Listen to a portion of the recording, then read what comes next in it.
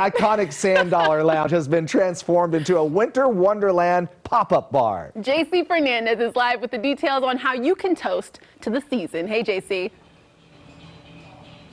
Hey, Rocky and Kendall, how about a Christmas cocktail right here? This is the Santa Santine Rex, Santa Rex. This is awesome. It's a it's a miracle on Spring Mountain, and this is Nathan with the Sand Dollar Lounge. So, what inspired you guys to create this Christmas wonderland? Well, I mean, firstly, it was it started off on the East Coast, um, and it had a lot to do with philanthropy and giving back to the communities. Um, there's only one in every city, so we are the only miracle bar um, in Las Vegas, which is great. But we just wanted to bring people together for the holidays. I, I love it because out, outside the bar, it feels like a Wednesday. You walk in here, it feels like Christmas Day. Talk me through the cocktails we have here on the table. Well, so some of the cocktails are all very festively driven. Um, the Santa Rex, the Yippee Ki Mother.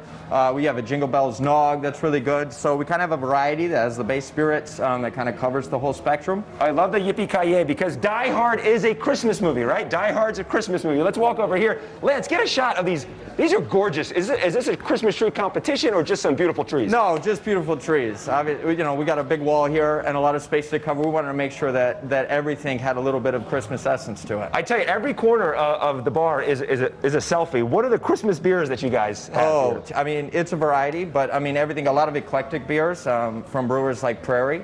So you've got some high-end beers that are really cool, and then you know some of the, some of those that are a little bit more mainstream. Let's walk over this way because tonight uh, here at the Miracle on Spring Mountain, the Sand Dollar Lounge, you guys are doing something very special. There's a charity tie-in. We've got a pop-up pizza kitchen where James Trees, he's from Esther's Kitchen, is going to be cooking pizza inside here. What's the charity tie-in? So uh, it, it starts at about seven o'clock, um, and James Trees, you know, owner of Esther's Kitchen, you know, a good friend of ours. We, we're bringing in all these local celebrity chefs, um, and it's an opportunity to give back. So the fifteen dollars that you spend on the pizza is going to go directly to the Las Vegas Rescue Mission. I love it because you can come in here, you can it's dine in or take out, grab your pizza and go, and you get the money right away, and you insert it right here, and there is your donation to a great charity. Coming up in the four o'clock hour, you guys are doing something very special for Hanukkah. We'll talk about that coming up in the four o'clock hour.